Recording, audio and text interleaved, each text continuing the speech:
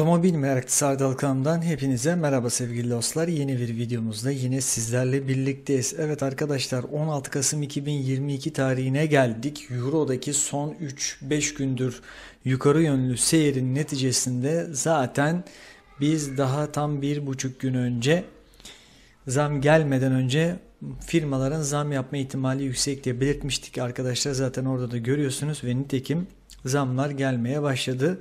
Kia cephesinde de son fiyat farklılıklarını size paylaşalım arkadaşlar. Şimdi öncelikle şunu söyleyeyim. Tüm modellerinde zam yok.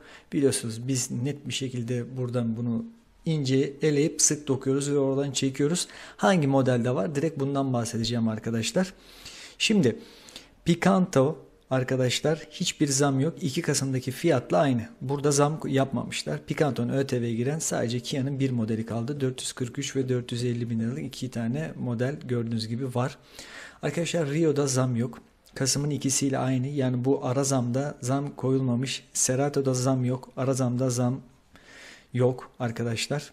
3 modelinde gördüğünüz gibi Picanto, Rio ve Cerato'da zam yok. Sit cephesine zam var arkadaşlar. Bakın listeden de görüyorsunuz tek tek hani şunda şu kadar şunda bu kadar demeyeceğim. Çünkü arkadaşlar tüm Kia Ceed modellerinde Ceed Hatchback, Ceed Station Wagon ve X-Ceed modellerinde 10.000 TL zam var arkadaşlar. Sadece görüyorsunuz Ceed Station Wagon'un Prestijinde 13.000 zam var. Geri kalan hepsinde 10.000 lira zam. Yani sit alacak arkadaşlar 10.000 zam var.